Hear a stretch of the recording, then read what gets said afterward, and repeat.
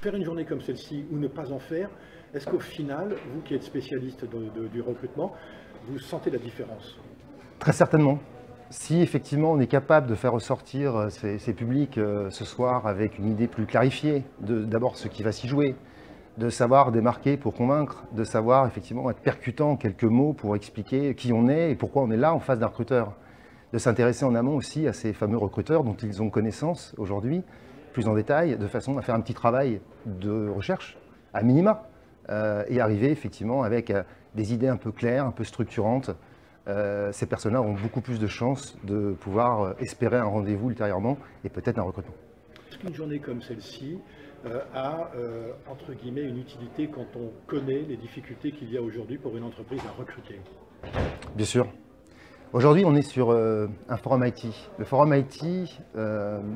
moi je vais parler pour l'APEC, l'Association pour l'emploi des cadres, hypertrophie ce qu'on est en train de constater plus globalement sur le marché des cadres. C'est-à-dire un marché de plus en plus en tension, où, euh, pour le résumer, euh, la difficulté, elle est de permettre des rencontres opportunes, de faciliter la rencontre dans le bon timing entre euh, des personnes qui recherchent un emploi et des recruteurs qui recrutent leurs futurs talents. Or, aujourd'hui, quelles qu'en soient les raisons, et elles sont multiples, on a de plus en plus de mal finalement à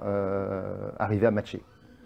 À partir du moment où les candidats sont mieux préparés, à partir du moment où les entreprises sont conscientes aussi des efforts qu'elles doivent faire et de l'importance pour elles pas pour ceux qui conseillent ces entreprises, mais pour elles-mêmes, dans leur stratégie de développement, on sait qu'effectivement, ne pas aboutir à un recrutement peut valoir jusqu'à 1% d'impact sur le PIB du pays. Donc très concrètement, ça veut dire que toute entreprise aujourd'hui, par rapport à sa propre concurrence et par rapport au défi des talents, qui s'annonce euh, effectivement de plus en plus euh, important, c'est-à-dire que ça ne va pas se calmer, euh, a nécessairement besoin de retravailler sur sa stratégie de communication, sur sa capacité à attirer, à faire entendre aussi la valeur ajoutée réelle qu'elle peut proposer à des candidats lorsque ces candidats sont pénuriques et que tout le monde se les arrache.